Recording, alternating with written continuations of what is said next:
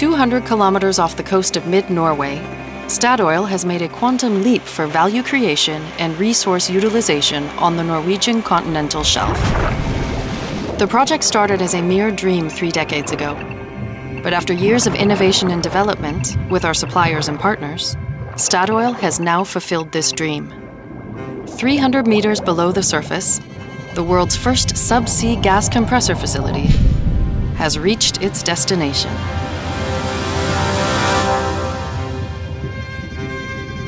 The pioneering installation, covering an area the size of a football field, could fetch an additional 282 million barrels of oil equivalents from the reservoirs under the seabed. In energy terms, this equals four times the yearly hydroelectric power production in Norway, or enough energy to power all households in the United Kingdom for almost a year. Compared to a compressor on a platform, Åsgard subsea compression substantially reduces CO2 emissions and is far more energy efficient. Let's have a look at how it works.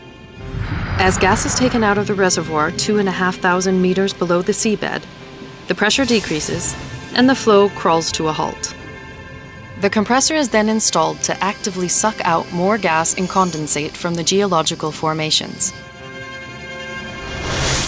First, the compressor cools the incoming components and separates fluids from gases.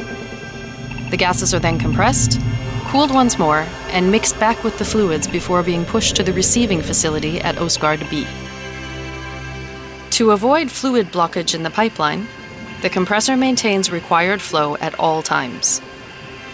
The key to the subsea compressor's efficiency is its proximity to the wells, allowing both sucking from the reservoir and pushing through the pipeline.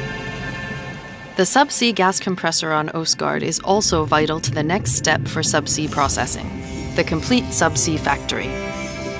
Constructing self contained seabed installations will increase safety and efficiency and grant us access to fields that have been unreachable in the past, an important step for our future value creation.